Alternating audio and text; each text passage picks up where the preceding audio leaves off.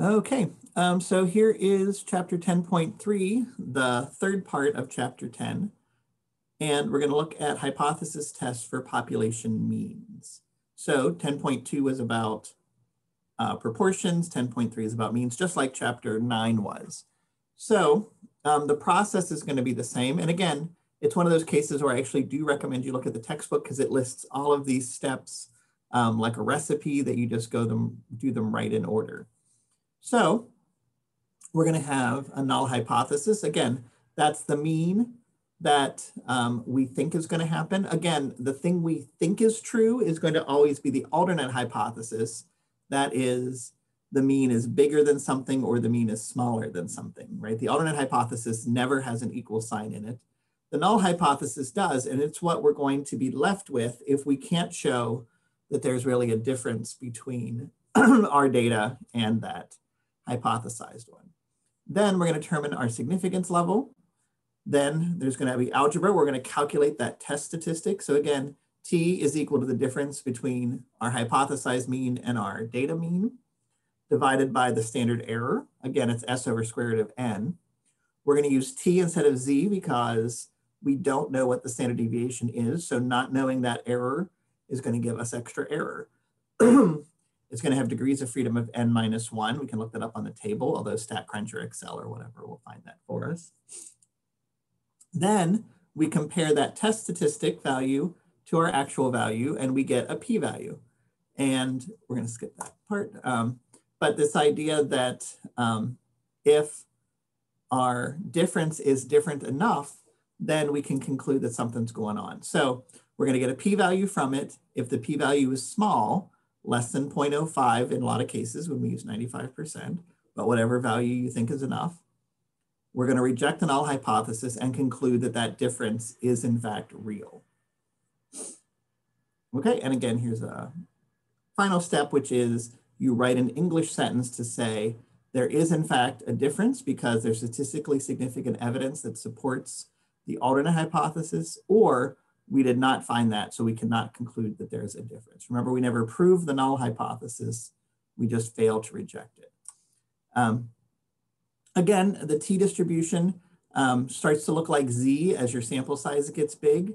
Um, there's a table that you can look it up. We're going to use StatCrunch uh, to calculate all of this for us. All right, so here's an example, and it's about beer. Um, all right, so um, the brewery claims they have 12 ounces in every can, but we suspect that maybe the mean is uh, getting smaller and we're getting uh, ripped off because they're not giving us enough beer. So I go out and collect a random sample of 81 cans of beer, right? We picked 81 so that we could do the square root really easily. And I math, math, math, and I calculate that the average amount of beer in each one is 11.82 ounces. I had to pour each can into a scale and weigh it. Um, and then who knows what I had to do to get rid of that uh, beer once I had it and the sample standard deviation was 0.507 ounces. So in a simple sense, our test case, our test data shows that it was in fact less than 12. However, is there enough evidence to say that that would be true for any random sample? Or was our case just maybe an unlucky one and the brewery can say, well, try it again. And if you try it again, you won't find that again. because again, while we're interested in our sample, we're really interested in our sample as a model for the broader population. All right.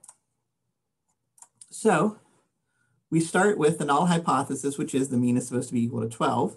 The other hypothesis is that it's less than 12 ounces of beer. It's one-sided because if we're getting too much beer, nobody complains about that. I suppose if you're an accountant or something working for the brewery, you don't want to give away too much free beer as you do that. Then we math, math, math. We say 11.82 is whatever, 0.18 away from the mean. Our sample standard deviation was 0.507 divided by square root of 81, which is nine. Algebra, algebra, arithmetic, arithmetic, minus 3.195. Now, remember two is our general, if it's bigger than two, it's gonna be big enough. Um, this is a negative one, so minus three. So that's gonna make us think just off, a, off the cuff that it's gonna be. But we're gonna go ahead and calculate, uh, oops, we're going to calculate the p-value and say that it is in fact very tiny. And in fact, for uh, data like this, 1.664 was going to be the value that we're going to use for a 90% uh, confidence interval. I'm sorry, 95% one-sided uh, hypothesis test. I can't, I just said that wrong.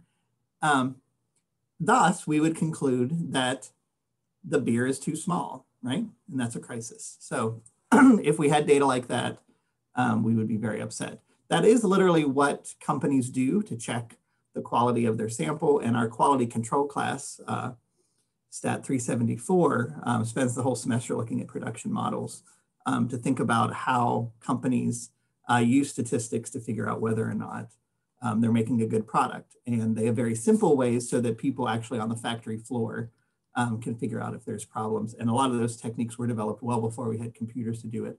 So they were designed to be very simple. Anyway, with this particular data set, the beer is uh, not full. So that's a big deal. All right, here's another example. Um, in 2009, the mean income for households was 52,029. A simple random sample showed that we had a sample mean of 47,974 in Missouri with a sample standard deviation of 15,000. so the question then is, is 47,000 enough different than 52 that we could really say, oh, Missouri is significantly lower than the national average?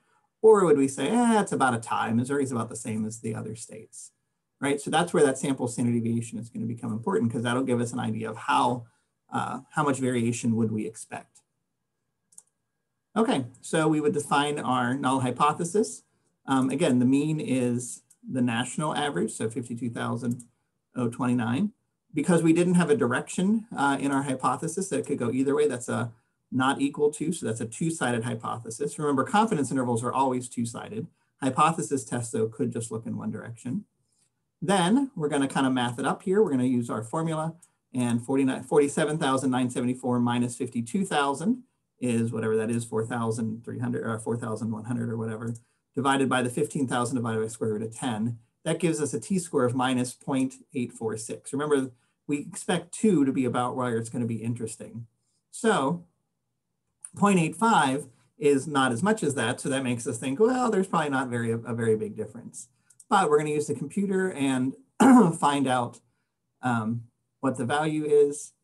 Um, and what we find, and in fact, with the table, we find that there's such not a difference that we can't even uh, find it on the table. All right, so here is our data from our fish data from uh, that lab that I love to use. Because um, who doesn't love fish from Finland? All right, so you remember there were 56 fish and they had the means like that. Now, this was literally the actual data, uh, the reason why this data was collected. So the claim was that historically fish in this particular lake averaged 35 centimeters long, right? You remember um, fish are tended, although we weighed the fish, fish really are judged by their length because it's easy to measure how long a fish is. But when you're on a boat or on a ship, it's very hard to weigh a fish because of course everything goes up and down. Anyway, um, what they said was that the mean weight of the fish was, uh, I'm sorry, the mean length of the fish was 35 centimeters. So could they then conclude that the data um, shows that the fish are in fact smaller than they used to be. So we're gonna go to our t-stat, we're gonna go to one sample with data. This is just the same command we used when we did the confidence interval. We're gonna click length. Um, but now instead of doing the confidence interval like we did down here, we're gonna do the hypothesis test. We're gonna put in our mean, which is 35. And again, the claim was that the fish had gotten smaller. So we're going to make that a one-sided test. So the alternate hypothesis is that the fish are smaller than 35 centimeters. All right, we're going to do the math. Let the computer do it for us. Bloop, bloop, bloop. And what we see is that the sample mean was 29 and a half. We actually calculated that way back in lab one. The standard deviation, I'm sorry, the standard error, because it's divided by the uh, degrees of free, um, n, 56, gives us 1.27. That gives us a t-statistic of minus 4.2. Remember again, two is about where we start to think something fishy is going on. Huh? I crack myself up. Um, and that gives us a p-value of less than 0.0001. Now the p-value, as we talked about before, is the idea that if we took lots and lots of samples, what percent of them would have data like this? So if the mean were in fact 35, and you said, well, gosh, you know, it's just random error, well, how often in, with just random error would we expect to get data like this? Well, the answer is less than one in 10,000. That's a lot. I should say that's very little, right? So one in 10,000 tells us that probably this is a real effect and we can't just say, eh, it's random chance, who knows? Right, so that is how we can use this data. Now, we can uh, play with this a little bit because it was a one-sided test. Bloop, bloop, bloop. We could uh, do what we did. If we did it as a two-sided test, we would then still get the same value here, but now our p-value would be twice as big. In this particular case, it's actually still uh, very, very tiny. And because we don't go to too many decimal places, we would still say there's a real difference. All right, let me work it out again um, with a value of 32. So let's say that instead of 30, oops, instead of saying 35 was the, uh, data, instead of saying that 35 was our null hypothesis, let's say it was 32 right? So let's say that the previous data was that it was 32. And now we're gonna do our one-sided hypothesis here, and we calculate it now. Now what we see is that our p-value is 0.03. Okay, so 0.03 being less than 0.05 would tell us that, in fact, 95% of the time, we would uh, find that this is a significant answer, right? So at an alpha of 0.05, the p-value is smaller than that, 0.03, that tells us that there is a difference. Since we're just playing here, let me do it one more time. T, one sample with data, right? If I put in the 32 here and now I leave this as a two-sided test, that 0.03 is going to be doubled to 0.06. And at the 0.05 level, that's going to be not significant. So the fact that we knew which direction it's going to go turns out to be really important in this uh, version of the story. Okay, so Again, to actually run the test, we go to stat t, because it's a t distribution. Remember, that's when we use the data standard deviation. One sample, we have data. Click the column you want. Put in your null hypothesis. What's the claim going to be? Um, again, 32 or 35. Um, and then does it have a direction? Right? And again, all of this comes from our story. It's not from our data hypothesis test, the value from it, whether or not it's one-sided or two-sided, that's decided before we really look at our data. And in fact, it's kind of cheating if you look at your data first and then set your hypothesis, which is of course exactly what I did here in this last example where I made it 32 instead of 35. Okay, so that is um, how this data works. Now, while we're here for fun, let me mention one other thing. When this data was, was uh, put out, the idea that this eight centimeter fish was included. And um, the people who collected the data said, normally our fish uh, nets are so small that an eight centimeter fish wouldn't be caught, it would fall through. And so they say, well, actually we shouldn't have that data at all. So let me just get rid of that data point, which, you know, if you really feel it's not a valid sample, that makes sense to do. And now we'll click the numbers one more time with data and we'll keep uh, 35 and we'll go ahead and run our numbers. Now the p-value has gone up to 0.0002. So it turns out that eight centimeter fish really was important, but not that important because the p-value is still teeny, teeny tiny. If we say, oh, well, I'll grant it two in 10,000 times that could happen. That's still not very likely. So the idea that anything less than 0.05 is gonna be rejected, assuming we're using 95% confidence, still doesn't give us great, uh, you know, interest or belief that the fish haven't actually gotten smaller. Now, fish getting smaller actually is an important issue. Um, typically, fish are getting smaller because of overfishing, which means not enough fish are around to become full adults.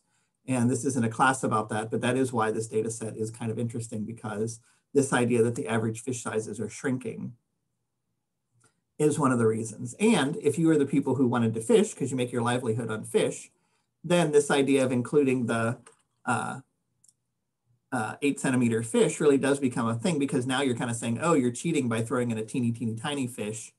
And now you can't really, uh, you know, you're not really doing it fairly. All right, last point is I want to mention, and I kind of started with this, that confidence intervals and hypothesis tests are really two sides of the same procedure. One confidence intervals say, if we're just given our data, what's a reasonable value for the true uh, mean or the true proportion? Hypothesis test works the other way. It says, I think I know what the true mean or the true proportion is. Does our data support or refute uh, that claim? okay, so here's just an example from chapter nine. Water bottles are supposed to be a certain size. We can plug it into the confidence interval and say seven to eight plus or minus, and that gives us a range where we think the true value of um, the mean is. And again, if they're supposed to contain 710, that's a little bit smaller. And you can see from the confidence interval that's true. So um, that kind of does give us that same information, but in a reverse direction. But if we do it as a test, we just switch the formula around. We, right, we basically solve for t in our formula and we do the same math, we get 3.16 now, instead of getting an interval, we now compare that one value. From our table, we would say anything um, more extreme than 2.3 is so extreme that we think the water bottles are too small. Our value is three. Thus, our water bottles are too small. And we have evidence to say that uh, something's going on there. Okay, so this idea that a two-sided hypothesis test and a confidence interval are really doing the exact same thing one is giving you the range of plausible answers. The other one is taking a value and saying, does that fall in that range of plausible values? In some fields, particularly political science, they tend to use confidence intervals and almost never do hypothesis, actually not quite true, but especially in surveys, you do confidence intervals and almost never hypothesis tests. On the other hand, in fields like psychology, um, they tend to always do hypothesis tests and almost never do confidence intervals. Does it matter? Not really. It's just which thing you like to do. Okay, last idea. Just because something is significant in the statistical sense doesn't mean we care. So um, the question is, does the difference matter? And so for instance, there was a big study that came out about a year and a half ago um, from Weight Watchers. And what they found was that Weight Watchers was significantly better than the other diet plans. It was comparing to Nutrisystem and I don't know, whatever the other ones were that they advertise on TV all the time. And Weight Watchers was saying, our difference is significant. So of course they put that in their ads and, you know, yay for them. But the actual difference in average weights was about half a pound.